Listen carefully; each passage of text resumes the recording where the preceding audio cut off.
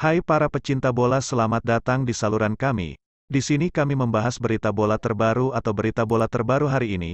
Tidak usah berlama-lama, ayo ke inti videonya. Timnas Portugal dipastikan akan tampil pada ajang Euro 2024. Karena sejauh ini mereka sudah memenangkan seluruh delapan pertandingan di kualifikasi Euro. Tapi meski begitu, kabarnya Ronaldo tetap akan membela timnas Portugal pada dua laga sisa. Dan salah satu pemain terbaik di dunia itu langsung mengungkapkan kegembiraannya setelah bergabung dengan kubu Portugal asuhan Roberto Martinez lewat akun IG-nya. Begini tulis Ronaldo, perasaan gembira setiap kali kami kembali ke tim kami.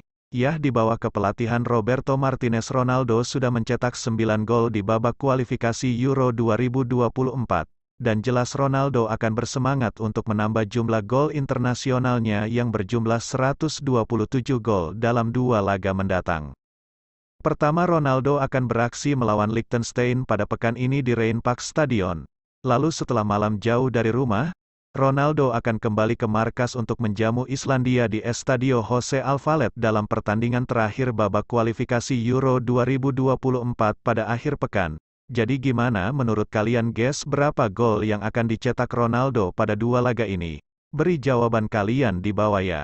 Seperti kalian tahu sosok Lionel Messi sukses membawa Argentina juara Piala Dunia 2022 setelah mengalahkan Prancis di partai final.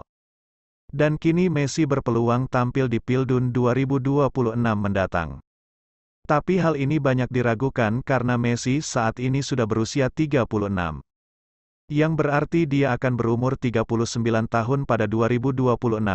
Apalagi Messi sempat menyatakan dirinya tidak akan bermain di Piala Dunia 2026 pada musim panas tahun ini. Tapi sejak saat itu Messi mulai melonggarkan pendiriannya. Apalagi setelah memenangkan Ballon d'Or ke-8 baru-baru ini.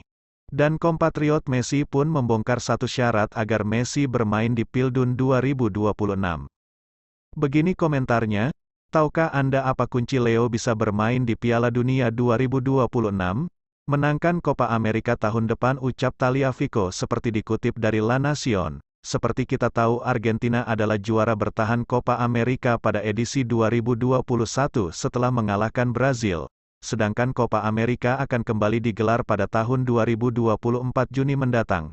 Intinya Taliafico merasa jika Argentina jadi juara Copa America maka Messi akan tampil untuk terakhir kali pada Piala Dunia 2026. Baiklah, itu saja pembahasan kita kali ini. Bagi kalian yang nggak mau ketinggalan berita bola terbaru dari kami, silahkan klik tombol subscribe dan loncengnya. Dan terima kasih telah menonton, sampai jumpa guys.